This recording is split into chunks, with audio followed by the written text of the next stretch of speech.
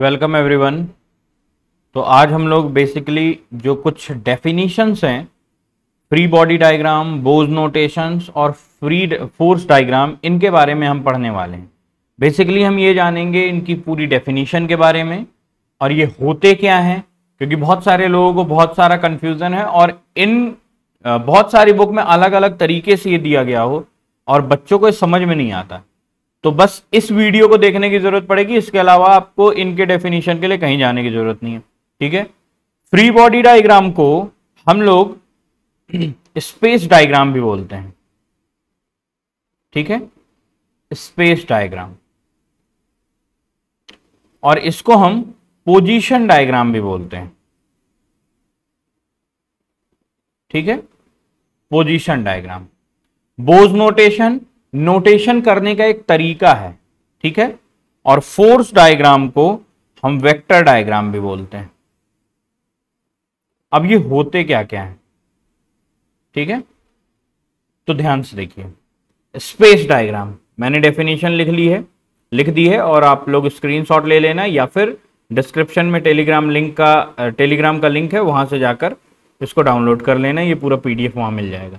Space diagram का मतलब क्या होता है? It means the construction of a diagram showing the various force और load along with their magnitude and line of action इसका मतलब ये है, इसी को हम फ्री बॉडी डायग्राम भी बोलते हैं और इसी को हम पोजीशन डायग्राम भी बोलते हैं। ठीक है, मैंने पहले ही बता दिया था। तो फ्री बॉडी डायग्राम का मतलब ये होता है कि एक ऐसा डायग्राम हमको कंस्ट्रक्शन करना है जिसमें फोर्स अगर फोर्स लग रहे हैं तो फोर्स अगर लोड लग रहे हैं तो लोड विथ मैग्नीट्यूड कितना फोर्स लग रहा है और किस ओर लग रहा है, ये तीनों चीज़ें जिस फिगर में हमें दिख रही हो, उसी को हम बोलते हैं फ्री बॉडी डायग्राम जैसे, मान के चलो कि आपके पास ये एक ट्रायंगल है। आपके पास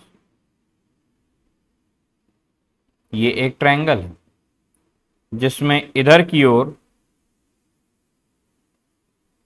ठीक है जिसमें इधर की ओर 130 न्यूटन का लोड लग रहा है, जिसमें इधर की ओर 100 न्यूटन का लोड लग रहा है और जिसमें इधर की ओर 50 न्यूटन का लोड लग रहा है।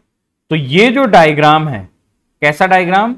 जो ये चीज़ शो कर रहा है कि फोर्स कितना कितना लग रहा है, कहाँ कहाँ लग रहा है तो ये कहलाएगा उसका space diagram this is the space diagram of any figure किसी भी फिगर का ये स्पेस डायग्राम है।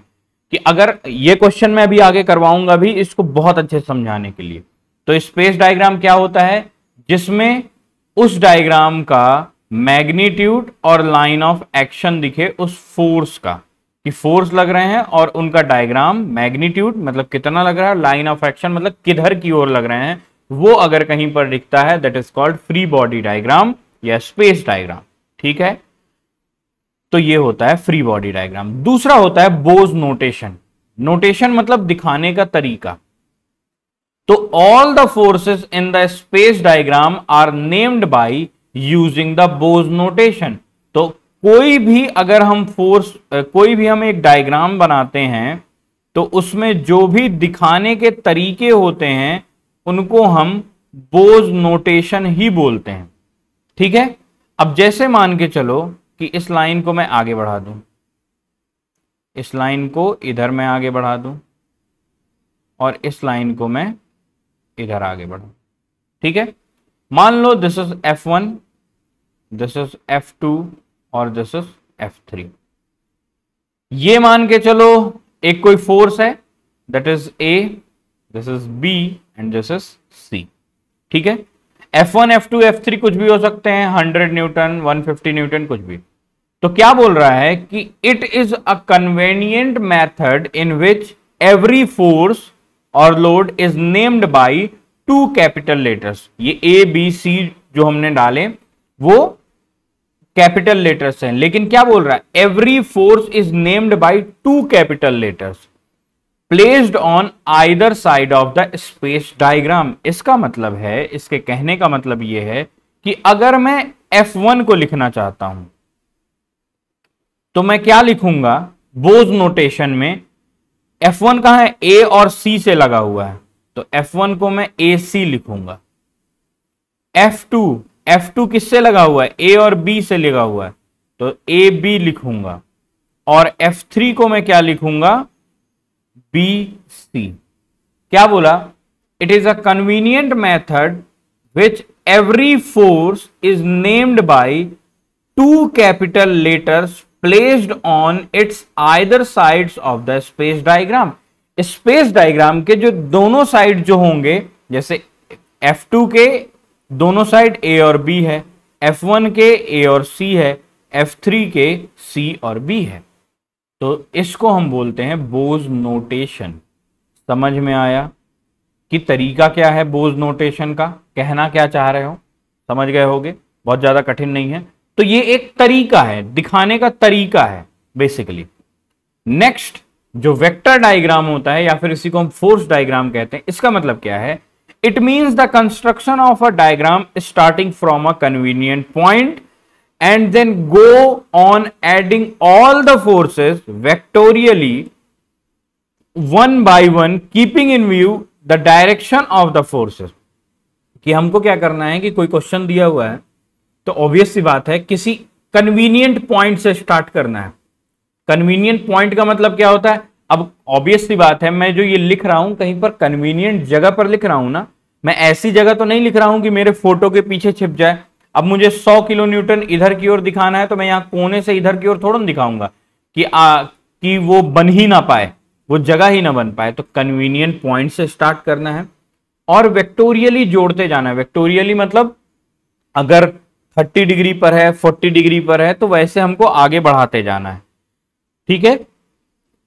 टू सम सुटेबल स्केल किसी एक सुटेबल स्केल में सुटेबल स्केल का मतलब क्या होता है कि जैसे आपका मैप है इंडिया का मैप। आपने घरों में देखा होगा। आप अभी मोबाइल में सर्च करोगे तो मोबाइल में भी इंडिया का मैप आ जाएगा। तो इंडिया इतना छोटा तो है नहीं ना?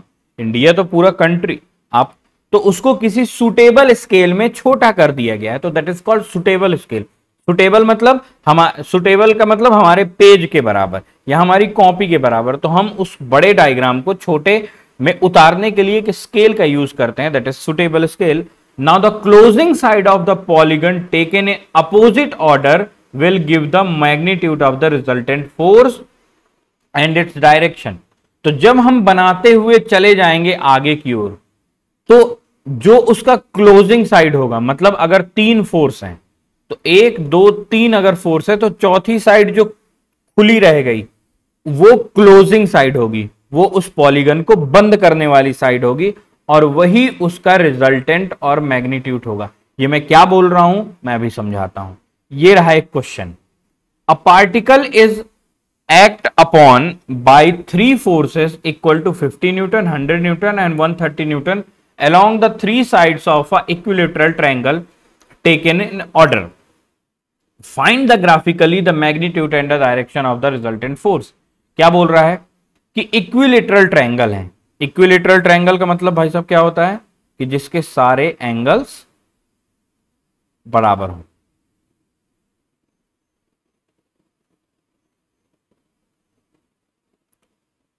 ठीक है? तो ये, अरे। ये बना एक इक्विलेटरल ट्रायंगल। ठीक है? इक्विलेटरल ट्रायंगल मतलब ये भी 60 डिग्री 60 डिग्री 60 डिग्री। क्या लिखा है? कि this is A B and C ठीक? और 50 न्यूटन तो this is 50 newton this is 100 newton and this is 150 newton. ठीक है? यही दिया हुआ है। ये जो डायग्राम मैंने बनाया, क्या पढ़ के तो ये डायग्राम बना है space diagram this is called space diagram या फिर इसी को हम बोलेंगे फ्री बॉडी डायग्राम इसमें मैंने क्या क्या दिखाया है? डायरेक्शन फोर्स और डायरेक्ट फोर्स किस डायरेक्शन में लग रहा है और कितना लग रहा है? ठीक है? तो ये हो गया फ्री बॉडी डायग्राम अब क्या बोल रहा है? Find the graphically the magnitude अब मैंने ये जो डायग्राम अभी आपको बताया ना, कि हमको क्या करना है? Convenient starting from a convenient point and adding the forces vectorially keeping in view the direction of the forces some suitable scale अब देखो 50 न्यूटन 100 और 150 तो स्टार्ट करते हैं। मैंने क्या बोला कि मैंने ये स्टार्ट किया। 50 को मैंने माना 5 सेंटीमीटर तो मैंने यहाँ से ये 5 सेंटीमीटर की लाइन खींच दी और मैंने बोल दिया ये है 50 50 न्यूटन को मैंने 5 सेंटीमीटर मान लिया। 100 न्यूटन को मैंने 10 सेंटीमीटर मान लिया और 150 न्यूटन को मैंने 15 सेंटीमीटर मान लिया। अब मैं उसी हिसाब से, अब देखो 50 का ये हुआ, अब यहाँ से 60 डिग्री के एंगल पर मैंने एक लाइन खींची 10 सेंटीमीटर। ठीक है? ये गई 10 सेंटीमीटर की लाइन 60 की। और ये क्या है? 100 क्योंकि ये इसी दिशा में था, इसलिए मैं तीर का निशान भी लगा देता हूँ। ठीक है? अब फिर क्या था? मैंने क्या बोला कि यहाँ से फिर 60 डिग्री के एंगल पर एक और लाइन खींची सॉरी 130 है ना? हाँ तो 130 मतलब 130 ठीक है? 130 तो 13 सेंटीमीटर। तो यहाँ से ये रही 13 सेंटीमीटर की लाइन। ये रहा इधर की ओर दट इज़ 130 न्यूटन। अब ये डायग्राम कुछ ऐसा बना तो मैंने क्या बोला था, फिर से उसी diagram. Now the closing side of the polygon taken in opposite order order का मतलब क्या होता है? ये इधर गया, ये इधर गया और ये इधर गया। ये कहलाता है ऑर्डर में, एक ऑर्डर में गया। अपोजिट ऑर्डर मतलब इसका उल्टा। तो अगर मैं तो अगर मैं उल्टा मतलब यहाँ से इधर की ओर। तो ये ऑर्डर अगर चलता तो इधर की ओर मैं तीर का निशान लगाऊँ तो ये ऑर्डर हो जाएगा। लेकिन मैंने क्या बोला? अपोजिट ऑर्डर मतलब इधर की ओर। अब आपको क्या करना है? ये जो लाइन है ना, मान के चलो ये पॉइंट है ए बी सी डी तो डी ए जो लाइन है ना डी ए उसको आप नाप लोगे। कैसे नापोगे? स्केल रख के। तो आप नाप लोगे तो यही जो होगा दिस इज़ द मैग्नीट्यूड और कितने एंगल पर होगा, ये एंगल नाप लेना। This angle is the direction कि जैसे ये 60 डिग्री है, ये भी 60 डिग्री है तो ये कितना हुआ? दैट इज़ ऑल्सो और ये जो डायग्राम मैंने बनाया, इसी को मैं बोलूँगा वेक्टर डायग्राम और यही मैंने आपको इस डेफिनेशन में समझाया है कि क्या है? It means the construction of a diagram starting from a convenient point and then go adding all the forces vectorially सबको जोड़ते हुए चले जाना है vectorially keeping in view in the direction of the forces direction of forces को दिमाग में रख के. फॉर अ सुटेबल स्केल किसी एक सुटेबल स्केल में. Now the closing side of the polygon taken in opposite order इस पॉलीगन का क्लोजिंग साइड डी पॉइंट खुला ना रह जाए तो डी और ए को मिलाने वाली closing side opposite order will give the magnitude and the resultant of the forces and its direction simple तो ये सारे डेफिनेशन हो गए। आपको आई थिंक समझ में भी आ गए होंगे, क्योंकि कठिन है भी नहीं। डेफिनेशन आपको समझ में आ गए होंगे। इनका जो भी पीडीएफ है, मैं आपको टेलीग्राम में नीचे ज्वाइन हो जाना, वहाँ पे मिल जाएँगे, ठीक है? और अगर स्क्रीनशॉट लेकर लिखना चाहो तो लिख भी सकते हो। कोई डाउट हो तो मुझसे पूछ भी सकते हो। तो गुड बाय टेक केयर